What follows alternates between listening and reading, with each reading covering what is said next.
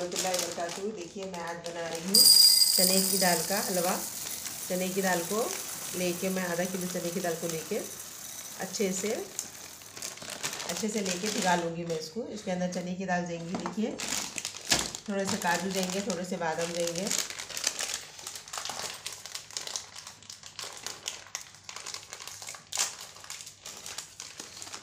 सब्ज़ी बारात में स्पेशल बनाते हैं, देखिए। चने की दाल का हलवा।